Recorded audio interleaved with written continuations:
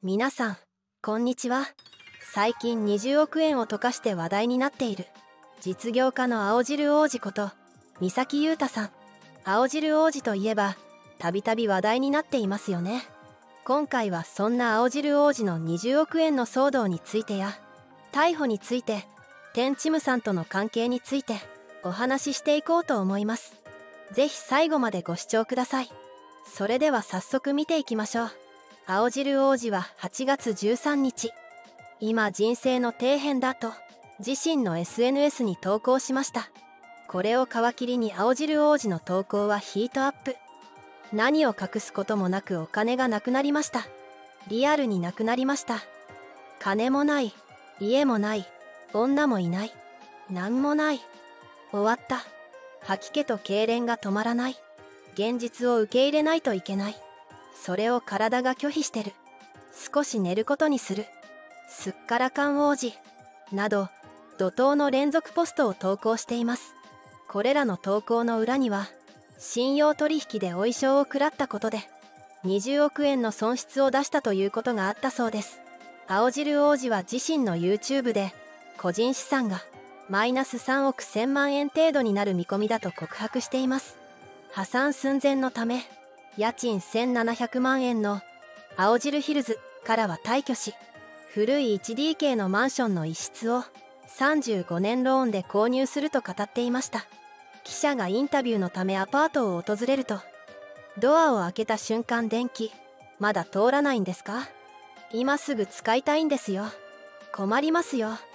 といった怒号も聞こえたそうです。そんな青汁王子こと三崎優太さんが9月2日週刊誌のインタビューに登場し自身の球場を青汁ヒルズを退去した三崎氏は愛犬だけを連れて下町にある築40年超の古びた 1DK のマンションに引っ越したそうです。ほとんどのブランド品や美術品車も処分している最中だそうでここから再起を図ると宣言しています。とはいえ引っ越し先のマンションの部屋は1700万円。35年ローンで月々6万円で購入したと明かしておりいわゆる庶民のどん底とはかけ離れた生活に冷めた声も上がっています。会社の金を流用したことで9月末に必要な3億1000万円の支払いができなくなっている状態。その中には青汁ヒルズの現状回復費用8000万円も含まれてます。などと語っていました。なんとか月々の生活費を抑えようと。都内格安ペットかバイク置き場ありの条件で物件を探しまくってこの部屋にたどり着き1700万円の35年ローン月々6万円で購入した青汁王子。株のみならず生活レベルも明らかに暴落しましたがむしろ気楽だと言います。都心からも遠いしお風呂の窓が錆びついているし上京した時の部屋よりも狭くて安いけどなんだかんだ言って住居を購入したのは初めてなので嬉しい。近所にはおじいちゃんおばあちゃんがたくさんいて昭和の下町っぽい点も結構気に入っているかも。全然行ける気がします。と語っていました。最寄り駅までは徒歩約20分かかるそうですが基本的にバイク移動なので問題はないようです。かつての部屋にあった豪華な家具はなくなり金を失った途端好意を持っていた女性も離れていき癒しといえば添い寝してくれる愛犬の存在だけとのことです。X 上では「ほんと頑張ってほしい。青汁ヒルズリボーン楽しみにしております」と青汁王子を応援する声がある一方で「そういうフィクションだぜ。演出なんだよ。全てが演出なんだろうな。どう考えてもまだまだ資金は持ってるわな」何もかもなくなった人はアパート。買わないんですわ。どん底から這い上がる俺。みたいなストーリー仕立ててるだけでしょ。といった声のほかかつて時代の長寿ともてはやされたドバイ在住の投資家与沢翼さんの過去を引き合いに与沢翼さんが一時期無一文になったと言って芝生の上でカップラーメン食べたりしてたのと似てるようななどの意見も複数寄せられていました。青汁王子は8月29日にコンサル料年間3000万円で週1私とお茶を飲むという新事業を発表しましたがこのビジネスに対してもみっともないさすがに慣れの果てすぎるなど冷めた声が多く上がっていました。信用取引で全てを失ったという青汁王子の告白に演出的要素がないのであれば素直に応援できるという人は多いでしょう。ただ彼のこれまでの言動からその告白をいまいち額面通りに受け取れない人も多いのかもしれませんね。少なくとも庶民に戻っただけでどん底ではないとは思われますがそれでも2の手3の手を打っているようでまずは堀江貴文さんに相談し紹介してもらった証券会社で株を担保にお金を借りる算段をつけたようです。そして FC チャンネル代表取締役林直弘社長のアドバイスで企業の顧問を始めることにしたとか。年間3000万円の顧問料で10社引き受ければ当面はなんとかなりますからね。すでに数社から話はいただいてますが最初に契約してくれたのはなんと林社長ですよ。本当にありがたいことです。と林社長に対して感謝の念も述べていました。青汁王子の経営実績や成功体験を欲しがる企業は多いはずです。でも株で失敗していますからね。あまり期待しないでほしいというのが前提。本当に困っているので助けてください。という感じですね。と青汁王子は続けて語っていました。3億円問題が解決した後はどう動いていくのか。という記者の問いにはまず株には二度と手を出しません。保有株は最悪時より多少回復していますがなかったものと考えています。2番底が来ると言われているのは怖いですけどね。と回答していました。まだ暴落のトラウマは残っているようですが青汁王子は悪いことばかりではなかったと言います。青汁ヒルズに住んでいた頃は併設していたバーの人件費も含めて月2000万円ほどの固定費がかかっていました。つまり今は生きているだけで年間2億4000万円も儲かっていることになる。これってすごくないですか？さすが転んでもただでは起きない強メンタルです。残高8万円の通帳のスクショを X にアップしたのは人生最大のピンチだったから本当に悪気はなかったんです。その後世間から私よりマシ庶民をバカにするな。といった声をいただいて自分より困っている人がたくさんいることに改めて気づかされた。何よりも怖いのは青汁王子は本当に終わったと言われてしまうこと。今回も青汁劇場だったんだと思われるほどの大復活を遂げてみせます。応援してくれた皆さんにも必ず恩返しさせていただきますよ。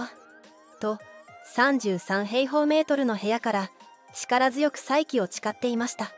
今人生どん底と語る青汁王子。そんな彼はたびたびニュースで取り上げられるほど注目を集めていますよね。過去には1.8億円もの大金を脱税していたことが発覚しています。元メディアハーツ代表取締役員社長だった。青汁王子は2019年2月12日に1億8000万円を脱税したとして逮捕された過去があります。保釈金6000万円を支払い保釈されたものの検察に懲役2年を求刑され9月5日に東京地方裁判所に執行猶予4年休憩懲役2年を言い渡しました。この事件を見て世間では「何こいつ利益じゃなくて売り上げの10%も給料もらっといて脱税してるの。年商130億もあって脱税するかね。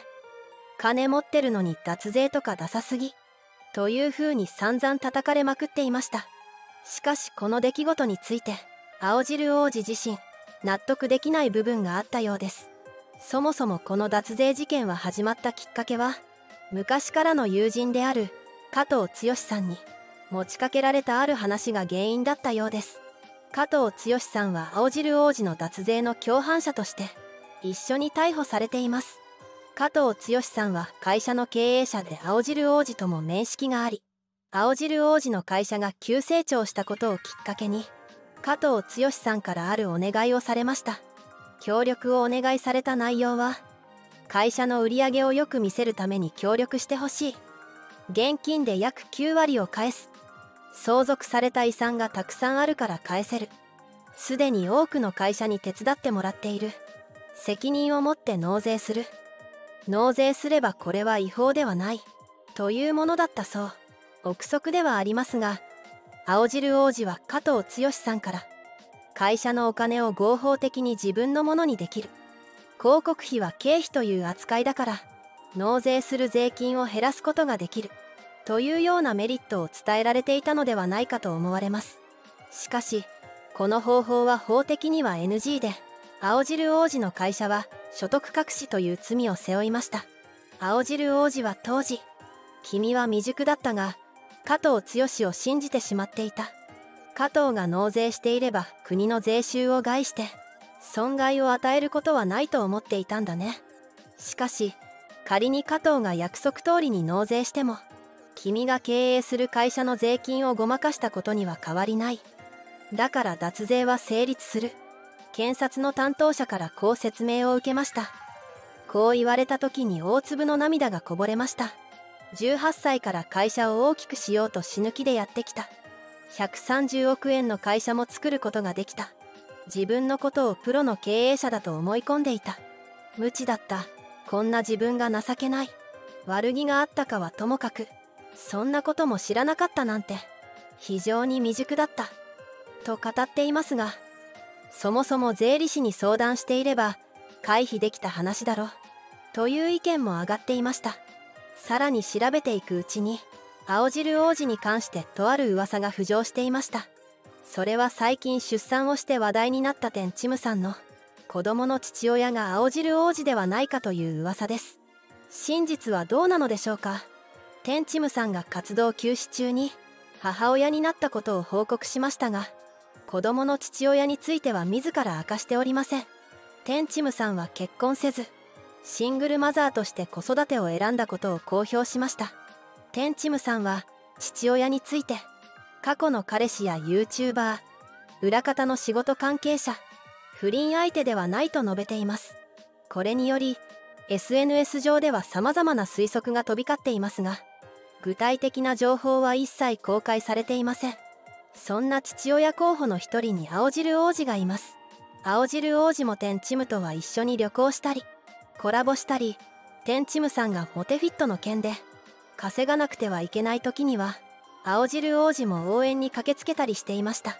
しかし青汁王子は明確に自分ではありませんと宣言しておりこれはただの噂だったと思われます。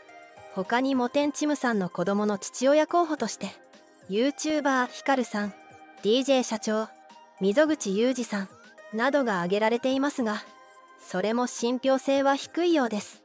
一体誰が父親なのでしょうね。いかがでしたでしょうか。今回は青汁王子こと三崎優太さんについてお話ししていきました。これからどのようにして這い上がってくるのか注目が集まりますね。最後までご視聴いただきありがとうございました。コメントを残してくださると嬉しいです。チャンネル登録高評価もぜひお願いいたします。それではまた。